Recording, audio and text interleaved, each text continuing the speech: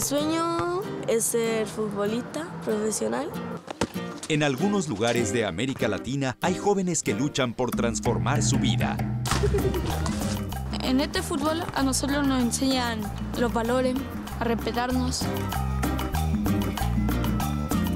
Yo soy Jeremy. Yo soy Maday. Me dicen Micho. Vivimos en Chile. Y te invitamos a vivir el otro sueño.